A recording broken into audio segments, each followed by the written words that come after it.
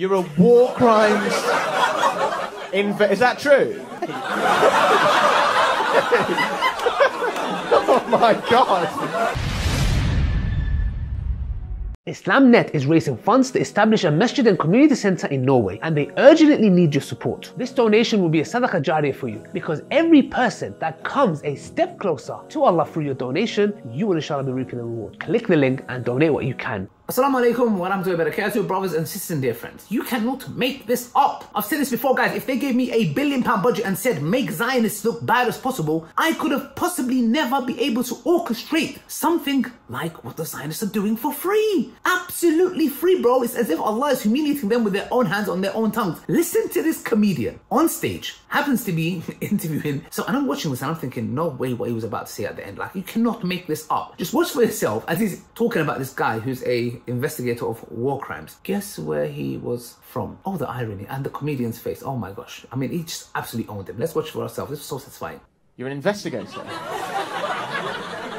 what kind? Like for the police? Like war crimes investigator. You're a war crimes. Inve- is that true? Is that true? Oh my god. Jeez, we really went up a notch, didn't we? Until then, it was just all fun, like, oh, first date in the front row. And you're like, I'm here to investigate war crimes. what are you working on at the moment? What's your. Ukraine. Ukraine. You're working on investigating war crimes in Ukraine. Uh-huh.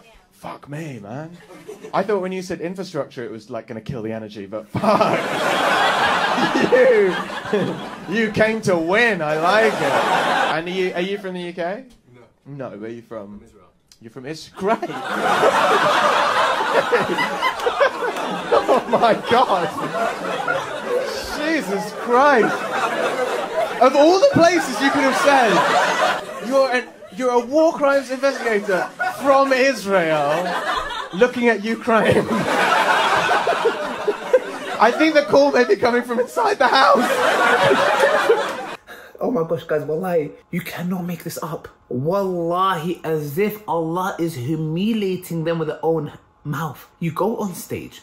I would not even speak, bro. I would not even mention. If I was a Zionist Israeli on that stage and this guy was interviewing me, I would not mention my. my I would never say I'm a walker. I'm just like, yeah, I'm just, um, yeah, I just sell chips. I sell potato chips. Yeah, I'm, I'm, I'm, I'm a cab driver. I'm, I would never. I mean, can you imagine so bold? Yeah, I'm a, I'm a, a war crime investigator. Okay, what are you working on now? Ukraine. Okay, where are you from? I would never in a million years say Israel. I'll be like, bloody honest, say Facia. No, is that, yeah, I'm from Israel. I mean, you can't make this up. I just want to thank the Zionists.